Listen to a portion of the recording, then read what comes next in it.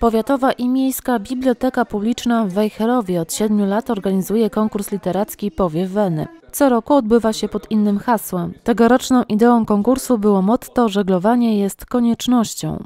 Jury wybierało pracę spośród 55 zgłoszeń w dwóch kategoriach gatunkowych poezji i prozy. Każda z nich dzieliła się również na dwie kategorie wiekowe młodzież oraz dorośli. W tym roku mamy o 11 prac więcej aniżeli w zeszłym roku. Z roku na rok rośnie też ranga konkursu, czego dowodem jest chociażby zainteresowanie poza granicami powiatu wejherowskiego. W tegorocznym gronie laureatów znaleźli się nie tylko mieszkańcy Wejherowa i okolic, ale też Kwidzynia, Pruszcza Gdańskiego, Chwaszczyna i Miastka. Wzrasta też poziom nadesłanych prac.